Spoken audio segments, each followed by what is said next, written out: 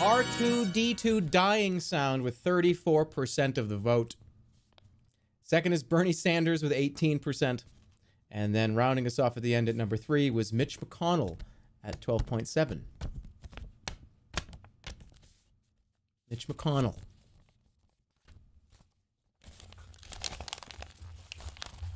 Mitch McConnell.